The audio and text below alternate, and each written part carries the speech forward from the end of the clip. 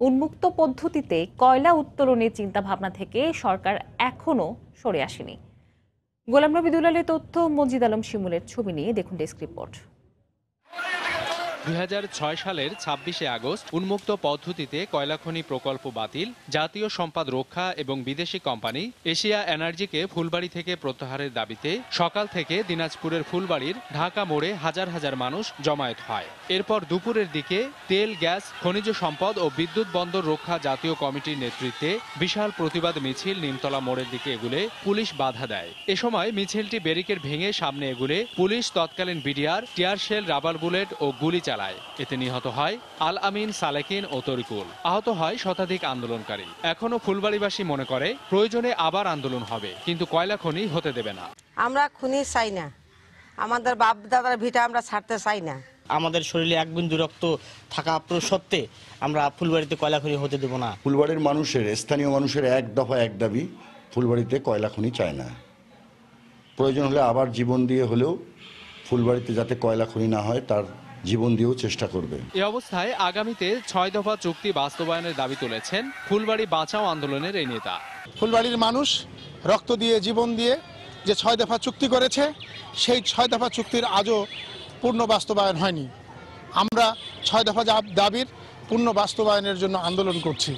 দেশের কোথাও উন্মুক্ত পদ্ধতিতে কয়লা উত্তোলন করা হলে প্রয়োজনে আবারও আন্দোলন হবে বলে হুঁশিয়ারি করেন এই নেতা। অনতিবিলম্বে এই আন্দোলনকারী যে উনিশ জন নেতাকর্মীর নামে মিথ্যা মামলা সেটা প্রত্যাহারের দাবি জানাচ্ছি। আমরা ছয় দফা চুক্তির যেসব দাবি নামা এখনও বাস্তবায়ন হয়নি সেটা বাস্তবায়নের দাবি জানাচ্ছি এবং এশিয়া এনার্জিকে আমরা অবিলম্বে দেশ থেকে বহিষ্কারের দাবি জানাচ্ছি। উন্মুক্ত পদ্ধতিতে কয়লা উত্তোলনের বিরোধী ফুলবাড়িবাসী আজও প্রতিরোধের চেতনায় উদ্দীপ্ত হয়ে পালন করছে ফুলবাড়ি ট্র্যাজেডি দিবস। সময় সংবাদ দিনাজপুর। রাজবাড়ির দৌলতদিয়ায় পদ্মা নদীতে তীব্র স্রোতে সিমেন্ট বোঝা একটি কার্গো জাহাজ ডুবে গেছে, তবে এতে কোনো হতাহতের ঘটনা ঘটেনি। নৌ পুলিশ জানায়, গতকাল সকাল সাড়ে এগারোটার দিকে দৌলতদিয়া ফেরিঘাটের এক নম্বর ঘাটের কাছে ঢল্লাপাড়া এলাকায় তীব্র স্রোতে সিমেন্ট বোঝায় কার্গো জাহাজটি ডুবে যায়। খবর পেয়ে জাহাজে চালক সহ চার শ্রমিককে উদ্ধার করে ফায়ার সার্ভিস। পাঁচ হাজার দুশো বস্তা সিমেন্ট নিয়ে আল্লাহর দান নামে কার্গো জাহাজটি নারায়ণগঞ্জ থেকে রাজবাড়ির গোদার বাজারে যাচ্ছিল বলে জানিয়েছেন জাহাজের চালক।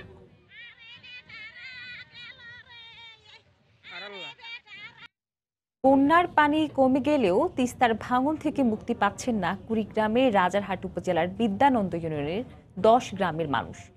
প্রায় এক সপ্তাহে কেড়ে নিয়েছে অর্ধ শতেরও বেশি পরিবারের ভিটে মাটি। ভাঙনের মুখে পড়েছে বাজার ও বিদ্যালয় সহ বিভিন্ন স্থাপনা। পানি উন্নয়ন বোর্ড বালিভর্তি জিওব্যাগ ফেললেও ভাঙন ঠেকাতে পারছে না। এতে আতঙ্কের মধ্যে দিন কাটাচ্ছেন এলাকার মানুষ। মমিনুল ইসলাম মঞ্জুর তথ্য, বেলাল হোসেনের তোলা ছবিতে দেখুন রিপোর্ট। তিস্তা নদীর গতিপথ কিছুটা পরিবর্তন হওয়ায় মূল স্রোত এখন বাম তীর ঘেঁষে প্রবাহিত হচ্ছে। ফলে বন্যার পানি সরে গেলেও ভাঙন ক্রমেই ভয়াবহ আকার ধারণ করেছে। এতে বাম তীরে বিদ্যানন্দ ইউনিয়নের বেশ কয়েকটি গ্রাম ভাঙনের কবলে পড়েছে। প্রতিদিন বিলীন হয়ে যাচ্ছে বাড়িঘর ভিটেমাটি গাছপালা ও আবাদি জমি। এ অবস্থায় সব হারিয়ে নতুন আশ্রয়ের খোঁজে দিশেহারা নিঃস্ব পরিবারগুলো। অর্ধেকটা ভাঙছে অর্ধেকটা আছে। মাইসের বাড়িতে যা আছে কোনো কোনো আশ্রয় নিয়ে। দশ গ্রামের লোক আমরা বাড়ি ভাঙন নিয়ে খুব চিন্তায় আছি। কোথায় যাব কি করব এই নিয়ে খুব দুশ্চিন্তায় রয়েছে। আলাসিনী বস্তা ফেলবান আছে। কিন্তু এই বস্তায় তো আমাদের কোনো উপকার হবান আছে না। ভাঙন ঠেকাতেই শুষ্ক মৌসুমে কাজ করার জন্য সংশ্লিষ্টদের অনুরোধ করা হলেও কোনো ব্যবস্থা নেয়নি বলে অভিযোগ স্থানীয় এই জনপ্রতিনিধির পানি উন্নয়ন বোর্ডকে শুকনো মৌসুমে কাজ করার জন্য বলছিলাম তারা তখন কোনো কাজ করেন নাই। এখন বন্যার পরে আসিয়া নদী ভাঙা রোদের জন্য বস্তা ফেলাচ্ছে। এই বস্তা ফেলাতে কোনো কাজ হচ্ছে না। পানি উন্নয়ন বোর্ডের বিভিন্ন স্থাপনাও ভাঙনের হুমকিতে পড়েছে। এ অবস্থায় বালি ভর্তি জিও ব্যাগ ফেলেও ভাঙন ঠেকানো যাচ্ছে না বলে জানান পানি উন্নয়ন বোর্ডের এই কর্মকর্তা। কিছু কিছু জায়গায় আমাদের ভাঙন রোধ করতে ব্যাপক কষ্ট হচ্ছে কিন্তু তারপরও আমরা এর চেষ্টা চালিয়ে যাচ্ছি। ভাঙন রোধের জন্য যে প্রস্তাবনা দরকার তা আমরা ঊর্ধ্বতন কর্তৃপক্ষের কাছে প্রেরণ করেছি। গত এক মাসে বিদ্যানন্দ ইউনিয়নের ওই গ্রামগুলোতে চুরানব্বইটি পরিবার নদী ভাঙনে ভিটেমাটি হারিয়েছে। সময় সংবাদ, কুড়িগ্রাম। এদিকে কুশিয়ায় আগাম আমন আবাদে ব্যস্ত কৃষকেরা। সে খবর জানাতে এই মুহূর্তে কুমারখালী উপজেলার বাঁধবাজার এলাকায় রয়েছেন সহকর্মী এস এম রাশিদ। সরাসরি চলে যাচ্ছি তার কাছে। হ্যাঁ, ধন্যবাদ হ্যাঁ, মৌসুমী। আমি এখন দাঁড়িয়ে আছি কুষ্টিয়া কুমারখালী উপজেলার দোপের মাঠে।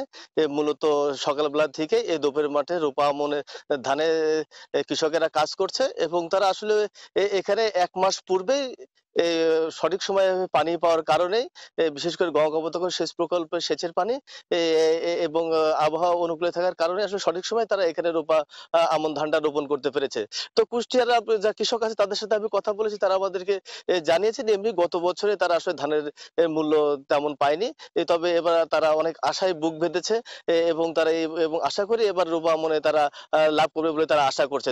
তবে তারা জানান যে আসলে আর এক সপ্তাহের ভিতরে এই জমিগুলোতেই আপনার সার দিতে হবে এবং এই সারটা যদি সঠিক সময়ে তারা প্রয়োগ করতে পারে, তাহলে আসলে এই জমিতে তারা অধিক ফসল উৎপাদন করতে পারে। তো কুষ্টিয়া কৃষি বিভাগের সাথে আমরা কথা বলেছি।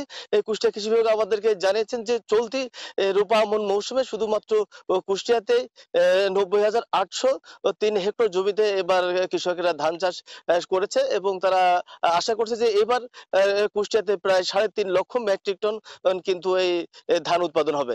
তো আমরা- তাদের কাছে জানিয়েছি যে আসলে কৃষকদের সারের বিষয়ে তাদের যে বক্তব্য তারা আমাদেরকে জানান, যে তাদের এই শুধুমাত্র কুষ্টিয়াতে প্রায় বিয়াল্লিশ হাজার metric ton urea, TSP, MP এবং দস্তা সার মজুদ রয়েছে এবং কুষ্টিয়ার কৃষকদের মাঝে সেটা আগামী এক সপ্তাহের ভিতরে বন্টন করা হবে। তো এই সারের বিষয়ে আমি কুষ্টিয়া জেলা প্রশাসকের সাথে কথা বলেছি। কুষ্টিয়া জেলা প্রশাসক আমাদেরকে জানিয়েছেন যে কুষ্টিয়াতে বিরাশি জন সারের ডিলার রয়েছে। এই ডিলারদের মাধ্যমেই আসলে কৃষকদের কাছে এই যে সার বিতরণ করা হবে। তবে যদি কোনো ডিলার এই সার যদি অবৈধভাবে কোথাও বিক্রি করবে, তবে তার বিরুদ্ধে আইনগত ব্যবস্থা নেওয়া হবে।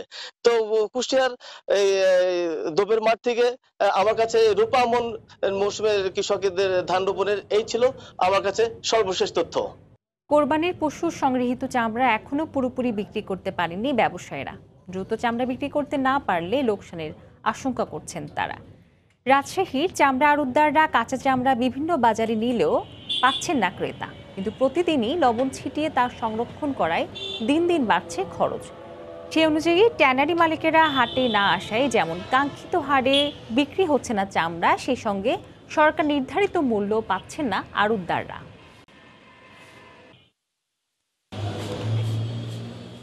কুষ্টিয়া চামড়াপট্টি থেকে স্বল্প পরিসরে লবণযুক্ত চামড়া কিনছেন ট্যানারি মালিকেরা। লবণের দাম বৃদ্ধি পেলে চামড়া সংরক্ষণে বিপাকে পড়ার আশঙ্কা করছেন আড়তদাররা দ্রুত চামড়া বিক্রি করতে না পারলে লোকসানের দুশ্চিন্তায় রয়েছেন তারা।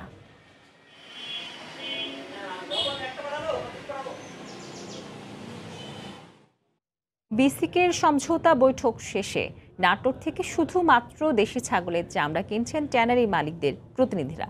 এখন পর্যন্ত এক লক্ষ পঁচিশ হাজার পিস ছাগলের চামড়া বিক্রি হয়েছে। এ ব্যাপারে বিস্তারিত জানাতে এই মুহূর্তে চক বৈদ্যনাথ হাটে রয়েছেন সহকর্মী আল মামুন। সরাসরি চলে যাচ্ছি তার কাছে। মামুন। আপনি জানেন এফবিসিসিআই এর যে সমঝোতা দ্বিতীয় দফা বৈঠকের পরে নাটোরে চামড়া ব্যবসায়ীরা, ট্যানারি মালিকরা আসা শুরু করেছেন।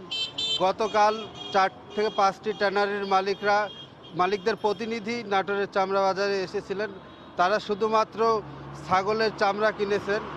গত রাত পর্যন্ত নাটোরের এই চামড়া বাজার থেকে প্রায় সোয়া লাখ পিস ছাগলের চামড়া কেনা হয়েছে এবং গত রাত, গভীর রাত পর্যন্ত নাটোরের চামড়া বাজারে কেনাবেচা হয়। তবে এখন পর্যন্ত নাটোরের চামড়া বাজারে আসা পায় প্রায় আড়াই লাখ পিস গরুর চামড়া অবিকৃত রয়েছে। এই গরুর চামড়া নিয়ে আসা ব্যবসায়ীরা বিপাকে পড়েছেন।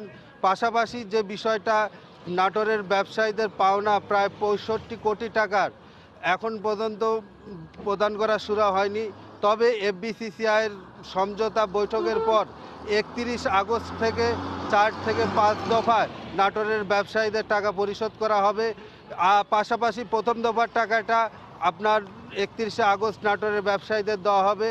একত্রিশে আগস্টের টাকা দেওয়ার পরে মূলত পঁচিশ থেকে তিরিশটি ট্যানারির মালিক বা তাদের প্রতিনিধি নাটোরের চামড়া বাজারে গরুর চামড়া কিনতে আসবেন। পাশাপাশি আগামী শুক্রবার যে চামড়ার হাট রয়েছে, এই হাটকে কেন্দ্র করে আরও তিন থেকে সাড়ে তিন লাখ পিস গরুর চামড়া ঢুকতে পারে বলে নাটোরের ব্যবসায়ীরা নিশ্চিত করেছেন। মোটামুটি নাটোরের চামড়া বাজারের এখনও সচল অবস্থা সৃষ্টি হয়নি। ঈদের পরবর্তী যে পরিস্থিতি, দশ থেকে বারো লাখ পিস চামড়া বিক্রি হলেও এখনও কিন্তু সেই অবস্থা এখনও সৃষ্টি হয়নি। নাটোরের চামড়া বাজার থেকে আমার কাছে ছিল এই সর্বশেষ। মৌ খেলার খবর। ভালো কিছু করার লক্ষ্য নিয়ে দায়িত্ব নিয়েছেন নতুন কোচিং স্টাফ। তাদের অভিজ্ঞতায় আস্থা রাখতে চান অধিনায়ক সাকিব আল হাসান। টেস্টে আফগানিস্তান অনভিজ্ঞ দল হলেও তাদের বিপক্ষে জয়ের জন্য একক নয়, করতে হবে দলগত পারফরমেন্স এমনটাই বলেছেন সাকিব। আফগানিস্তান বলে সিরিজে নতুন ক্রিকেটার দেখা নয়, সেরাদের নিয়ে গড়া হবে দল। নতুন কোচিং স্টাফ দেশের ক্রিকেটে নতুন আশা। আপাতত সামনে অ্যাসাইনমেন্ট আফগানিস্তান সিরিজ একমাত্র টেস্ট দিয়ে শুরু হবে রাসেল ডমিঙ্গো যুগ। দলের সঙ্গে যোগ দিয়েছেন অধিনায়ক সাকিব। দুদিন অনুশীলনও করেছেন তার অধীনে। এত দ্রুত ডমিঙ্গোর কোচিং দর্শন নিয়ে মন্তব্য করাটা সমীচীন হবে না। অধিনায়ক সেটা করেন উনি। তবে ডমিঙ্গো ল্যাঙ্গেভেল্টের অভিজ্ঞতায় আস্থা আছে তার। তো এক্সপিরিয়েন্স অনেক। সাউথ আফ্রিকা টিমের সাথে ছিল এত মানে এতদিন প্লাস হচ্ছে ওদের ডেভেলপমেন্টের সাথে ছিল। সো না ভালো হওয়ার কোনো কারণ আমি দেখি না। আমি শিওর যে ওর বেস্টটা দিতেই এখানে এসেছে, কারণ ও অনেক আগ্রহ প্রকাশ করেছে, যেটা আমি শুনেছি। ইন্টারেস্টেড আমাদের এখানে এসে কাজ করতে এবং ও আমাদের ফিউচার অনেক ব্রাইট বলেই মনে করে এবং সে কারণেও আসতে চাই তো এটা আমার কাছে মনে হয় খুবই ভালো একটা সাইন যে এরকম একজন আগ্রহ নিয়ে এসেছে ভালো কাজ করার জন্য। বিশ্বকাপ ভালো কাটেনি আফগানদের কিন্তু দলটা কতটা ভয়ঙ্কর হতে পারে তা ভালোই জানা সাকিবের। গেল বছর টি টোয়েন্টিতে হোয়াইট ওয়াশ হয়েছিল বাংলাদেশ তবে এবার ফরম্যাট ভিন্ন অভিজ্ঞতায় এগিয়ে বাংলাদেশ তারপরও আফগানদের বিপক্ষে জয় সহজ হবে না। তবে করণীয়টা কি জানিয়ে দিলেন অধিনায়ক। তাদের বেশ কিছু এখন কোয়ালিটি প্লেয়ারও আছে বা যারা মানে বেশ আমাদের জন্য ডেঞ্জারাস হতেই পারে। Also আমাদের খুব ভালো ক্রিকেট খেলতে হবে এবং টিম হিসাবে ভালো খেলতে হবে। ইন্ডিভিজুয়ালি আসলে খুব বেশি একটা ভালো খেললে দুই একজন পারফর্ম করে আমাদের জেতার চান্সটা খুব বেশি একটা থাকে না। সো আমাদের টিম হিসাবে ভালো খেলতে হবে জিততে হলে।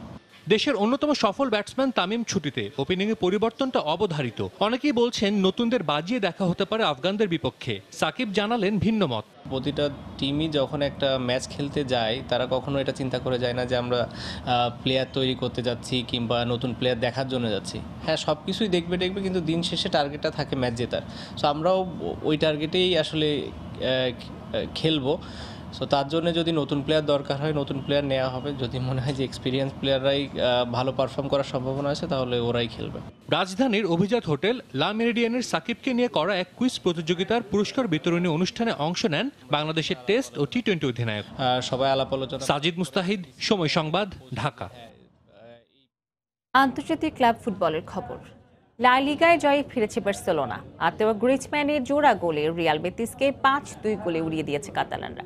এদিকে লিগ ওয়ানে তুলুজকে চার শূন্য গোলে হারিয়েছে প্যারিস সেন্ট জার্মে হার দিয়ে লা লিগার এবারের মৌসুম শুরু করেছিল টানা দুইবারের league চ্যাম্পিয়নরা Bharat West Indies test series প্রসঙ্গ।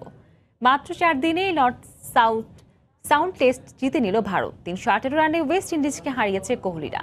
চতুর্থ দিনে জয়ের জন্য ক্যারিবিয়াদের সামনে চারশো আঠেরো রানেই টার্গেট ছুটতে ভারত। জবাবে ব্যাট করতে নেমে দ্বিতীয় ইনিংসে মাত্র একশো রানে অল আউট হয়ে যায় ওয়েস্ট ইন্ডিজ দুই ম্যাচ সিরিজে এক শূন্যতে এগিয়ে গেল ভারত। এ পর্যায়ে শীর্ষ সংবাদ জানিয়ে দিচ্ছি আরেকবার। সারা দেশে ডেঙ্গু রোগীর কমার পাশাপাশি বেড়েছে সুস্থ হয়ে বাড়ি ফেরার সংখ্যা। বিদেশ যেতে কেউ যেন দালালের খপ্পরে না পড়ে, বিশেষ নজর দেওয়ার নির্দেশ প্রধানমন্ত্রীর। বললেন, প্রবাসী শ্রমিকদের নিরাপত্তা নিশ্চিত করতে চায় সরকার। এবং চার দিনের শুভেচ্ছা সফরে চট্টগ্রামের শ্রীলঙ্কার নৌবাহিনী যুদ্ধজাহাজ সাইউরা ও নন্দীমিত্র দুদেশের মধ্যে নানা অভিজ্ঞতা বিনিময়েই লক্ষ্য। এই ছিল এখনকার মতো। যে কোনো খবর পেতে ভিজিট করুন সময় নিউজ ডট টিভি আপনার মোবাইলে সময় সংবাদ দেখতে ও সকল খবর পেতে ডাউনলোড করুন সময় অ্যাপ। এছাড়া এই মাত্র পাওয়া খবর মোবাইলে পেতে এসএমএস করুন স্টার স্পেস বিএন লিখে পাঠিয়ে দিন। One six two four two নম্বরে। সঙ্গে থাকুন সময়।